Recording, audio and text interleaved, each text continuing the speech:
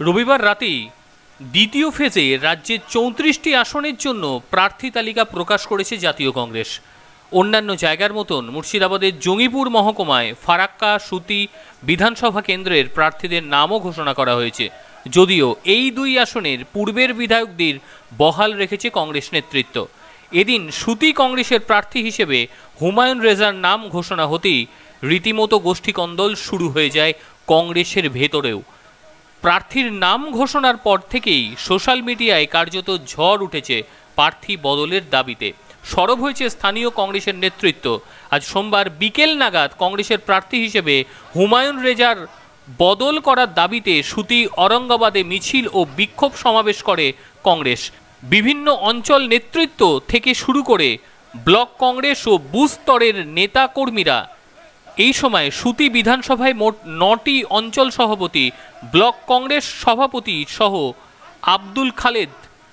সমস্ত শাখা সংগঠন সভাপতি, সুতি টু ব্লকের সমস্ত বুথ সভাপতি সামিল হয়। অবিলম্বে কংগ্রেসের প্রার্থী বদল করা না হলে হুমায়ুন রেজার বিরুদ্ধে নির্দল প্রার্থী দাঁড় করানোর হুমকি দিয়েছে কংগ্রেসের নেতৃবৃন্দ। থেকে শুরু করে সমর্থকেরা। এদিন আগে থেকেই দেওয়াল লিখন হলেও কংগ্রেসের কর্মী ও সমর্থকেরা চুন নিয়ে সমস্ত দেওয়াল লিখন মিটিয়ে দেন। প্রথমে আমরা শুনে নিই কংগ্রেস প্রার্থীর বিরুদ্ধে ঠিক কী অভিযোগ। পলাশ সিংহের রিপোর্ট, এনটিভি, ডাব্লিউবি।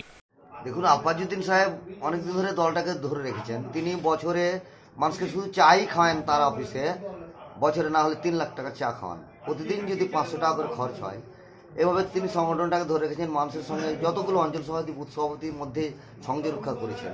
তারপরেও তিনি এআইসিসি থেকে নাকি ওই কোম্পানিদের, কিছু কোম্পানিদের, সব কোম্পানি না, কিছু কোম্পানিদের অনুপ্রেরণায় টিকিটটা পেয়েছেন। তো আমরা যতগুলো অঞ্চল সভাপতি আছি, তারা বুথ সভাপতি আছি, শাখা সংগঠন আছে, তাদের প্রত্যেকের একটাই বক্তব্য হুমেন রেজা বা কোম্পানিরা গিয়ে সেখানে ভোট করবে। তিনি ভোট করতে গেলে হুইল চেয়ার ছাড়া পারবেন না। হুইল চেয়ারে তাকে যেতে হবে। কারণ তিনি কোমরে বেল্ট বেঁধে হাঁটা চলাফেরা করেন। বৃদ্ধ বয়সেও তিনি বলছেন যে যতদিন না মরবো ততদিন আমি ভোটে দাঁড়াবো। এই তার ইচ্ছা। আমরা এর প্রতিবাদে যতগুলো অঞ্চল সভাপতি আমরা তিনার মানে তিনাকে পছন্দ করছি না। তিনার ক্যান্ডিডেট কাকে পছন্দ করছেন না হুমায়ুন রেজাকে পছন্দ করছি না।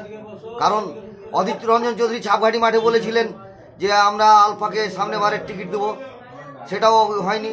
অদিত চৌধুরী বলেছিলেন আলফা তোকে আমি কুরবানি দিলাম এবারের জন্য তুই আমার ভাই তো খুব ভালোবাসি সামনে বার তোকে আমি টিকিট দেবো। তাও রক্ষা করতে জানি না কোন টাকা পয়সার খেল কংগ্রেসের। যে মনোনীত প্রার্থী তাকে কি আপনাদের পছন্দ না? নিঃসন্দেহে নয়। একটা বুথ সভাপতিরও নয়। ওই অফিসে এখন দেখেন গা ও টিকিট পেয়েছে তো দুজন কর্মকর্তা ছাড়া আর কেউ নেই।